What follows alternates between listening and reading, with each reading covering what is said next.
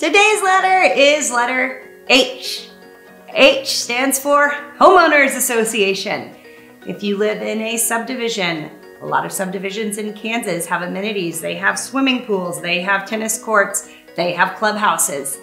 Those can be included in your HOA fees. So just keep in mind, any house that you purchase, those HOA fees may include those amenities. They also may include snow removal. They may provide maintenance provided communities. They may do your landscaping. They may mow your grass. They may do your trash. They may pay for water. They may pay for your sprinklers. There are so many things included in an HOA and you need to be aware, are you gonna pay that monthly, annually, or quarterly, which happens a lot.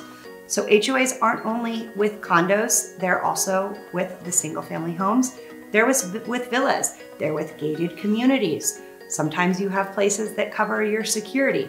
On the Missouri side, your HOAs for single family houses aren't gonna be too high, but just keep in mind that that HOA payment is going to be on top of um, what your lender has told you your monthly payment will be. So keep that in mind when you're budgeting. You know what your HOA fee is going to be because the last thing that you want is to have sticker shock at an HOA fee when you're ready to make an offer.